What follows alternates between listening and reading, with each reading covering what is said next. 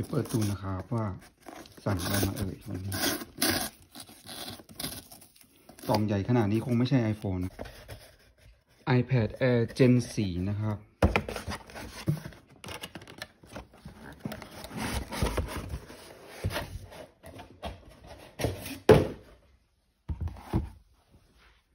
เดี๋ยวเราจะมา unboxing กันนะครับว่าในกล่อง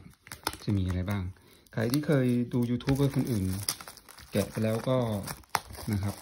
อันนี้เป็นไม่ใช่ยูทูบเบอร์เป็นแค่ user นะครับ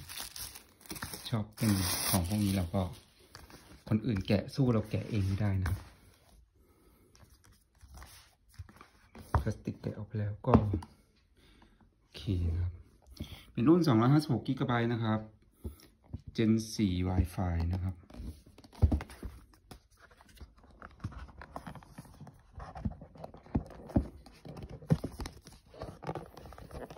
ตั้งซื้อนะครับ แต่ว่าความสูงมันไม่ได้ครับตรงนี้นะครับก็ออกมาแล้วนะครับ สิ่งที่มีในกล่องนะครับ ก็จะมีตัวเครื่อง สีฟ้านะครับตัวนี้สีฟ้าของ Apple จะดูเหมือนสีเทานะครับ คู่มือ มีสายชาร์จนะครับ เป็นแบบ USB-C แล้วก็ยังมีอะแดปเตอร์ ดีครับเพราะ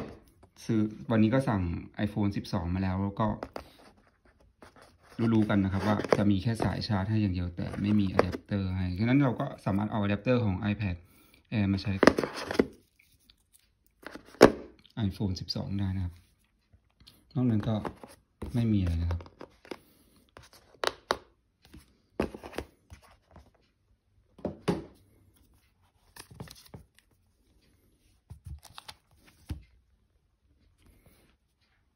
ในกล่องก็มีแค่นี้นะครับ เดี๋ยวเราจะทำการติดหน้าจอแล้วก็นะเมื่อเทียบขนาด iPad Pro นะครับ iPad Air ก็จะมีความ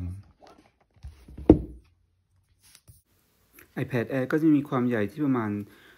10.9 นิ้วนะครับ ในขณะที่ iPad Pro ก็จะมีความใหญ่ประมาณ 12.9 นิ้วนะครับ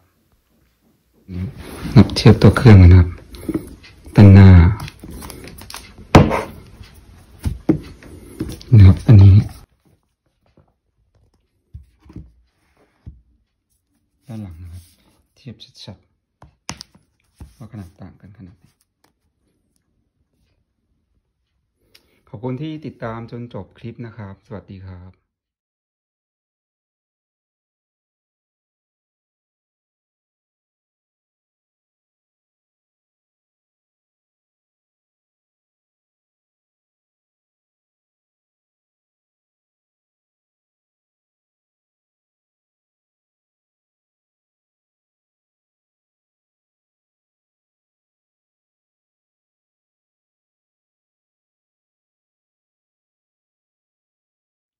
หลังจากติดหน้าจอเรียบร้อยนะครับเอ่อมา configuration เครื่องนะครับคราวนี้เอ่อคนที่มี iPad iPhone อยู่แล้วก็ iPad หรือ iPhone อยู่แล้วก็สามารถที่จะใช้วิธีการ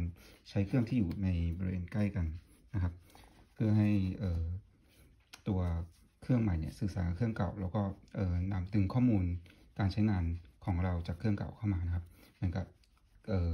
การที่เราซื้อ iPhone ใหม่มากับ iPhone เก่า มันก็จะดูดข้อมูลเข้าหากันได้นะครับ คราวนี้ใน iPad Air มันจะมีความพิเศษอย่างหนึ่งนะครับ ซึ่งจริงๆเนี่ยตัวนี้นึกว่าใน iPhone 12 จะมาด้วยแต่ไม่ได้มานะครับ ก็จะเป็นการสแกนลายนิ้วมือนะครับ อยู่ที่ด้านบนนี้ครับ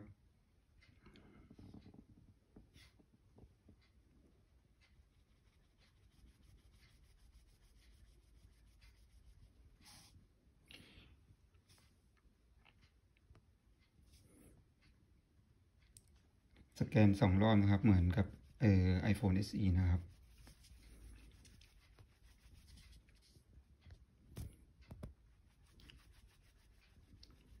เราสามารถสแกนนิ้วได้มากกว่าหนึ่งนิ้วนะครับ ปกติก็จะใช้นิ้วชี้เป็นหลักก็แค่นี้พอ ครั้งเดียวพอ